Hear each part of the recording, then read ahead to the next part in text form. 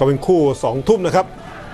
เมืองทองต้องมีแต้มเพื่อที่จะขึ้นมาจากฝูงนะถ้าช่องว่างเท่าเดิมก็ต้องเก็บ 3 แต้มแล้วเริ่มมาได้โอกาสก่อนโดยเจโบทอยแต่ว่าเอ่อบางเกินไปครับเอาชนะแนวรับของสงขลาได้หมดแล้ว โดยเฉพาะคนนี้ที่ออกมาไม่เจอบอล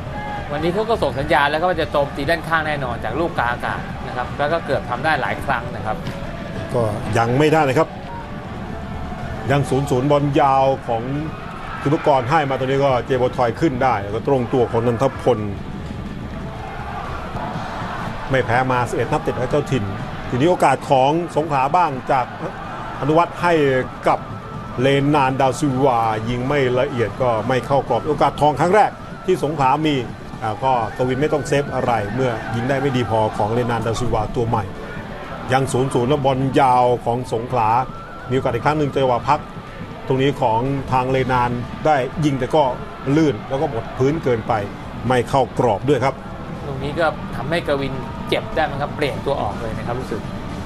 มีหลังจากนั้นมาก็มีประทะกันอีกหนึ่งจัใช่งหวะครับด้วยนะครับบอลไม่เข้ากรอบอ่ายังศูนย์ศูนย์มาดู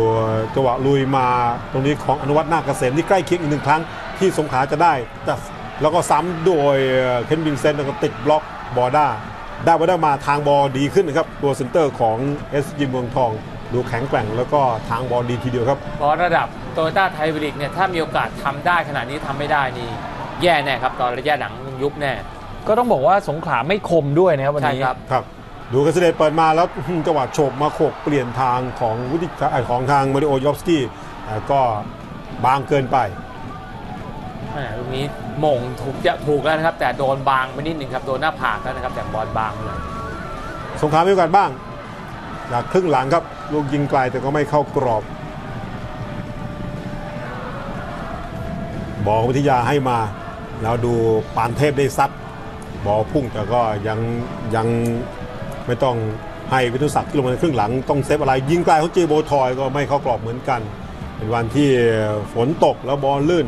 พวก เล่นเอาฟิลก็ใช้ยิงไกลเพื่อที่บอลเข้ากรอบแล้วผู้สาตัวไม่กล้ารับจังหวะโต้มาอีกครั้งของทางสงขลาซึ่งหน่าน่าจะได้ประตูขึ้นนำจากจังหวะตวัดยิงตรงนี้ของเรนันดาซิวาถอยมาไม่พอครับ ไม่พอวงที่จะตวัดบอลให้เข้ากรอบได้ก็เลย ไม่ได้อะไรลูกเตะมุม โอกาสที่จะขึ้นนำใกล้เคียงที่สุดของทางเมืองทองแล้วก็ติดนันทพลครับเซฟจังหวะแรกจากลูกโขกก่อนแล้วก็ เซฟจังหวะซ้ำของทศพลลาเทศได้จังหวะแรกโขกโดยวุฒิชัยติดนันทพลกระชอกมาทศพลซ้ำแต่ก็ติดขาอีกครั้งของนันทพลนะครับก็ส่งสัญญาณแล้วว่าจะเสียประตูหน้าลูกนี้นะครับทางสงขลาเริ่มเริ่มเขาขยับมาใกล้ๆเรื่อยแล้วครับ เริ่มปิดไม่อยู่เลยนะครับใช่ครับแล้วมาจนได้จากทะลุช่องตรงนี้ของชุกรให้กับวุฒิชัยทาทองนาที 78 ต่อ 79 ครับเขานวดจนอยู่จนเกิดช่องจนได้ครับวุฒิชัยก็อดทนจริงๆหาช่องเจอจนได้นะครับลูกนี้ ลูกนี้ทรูมาสวยมากตามช่องโอ้โหดูนิดนิดๆเหมือนกันนะครับแต่ว่าธงไม่ขึ้นตัวออกตัวดูเหลืองดูครึ่งตัวของทางวุฒิชัยเอ่อเมื่อธงมันขึ้นเองก็เดินต่อแล้วก็เป็นประตูขึ้นนำของ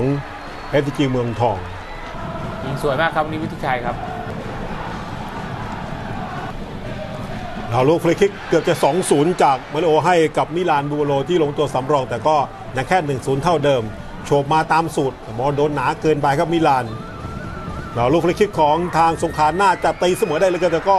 ซากิลินตัวสำรองแย่งจบกันกับอานบุงเกินก็ทำให้บอลไม่เข้ากรอบจังหวะที่ทางเมืองทองป้องกันไม่ได้หลวมแล้วแต่ว่าสงขาก็เก็บกินไม่ได้เหมือนกันในโต้กลับเร็วมาเป็นจังหวะที่ตอกย้ำชัยชนะเกมนี้ของเอทีจีเมืองทองโดยมิลานบูวาโลยกยกหลอกแล้วก็แปรเข้าไปง่ายๆ มากัน 3 ต่อ 3 ครับ มิลานใช้ความสามารถเฉพาะตัวแล้วนิ่งมากลูกนี้ โยกหลอกตัวประกบด่านเดียวที่มีอยู่โยกผ่านได้แล้วก็แปรง่ายๆโชว์ทักษะในการเลี้ยงได้สวยมากตรงนี้ครับเลี้ยงเลยครับดูครับโยกไปทางขวาแล้วตบด้วยเท้าด้านในเข้ามาด้านในยิงด้วยเท้าซ้ายเลยนะครับเฉียบขาดมากนะครับเบสิจักงหวะในนี้การเลี้ยงดีมากครับตรงนี้หลอกอานเนี่ย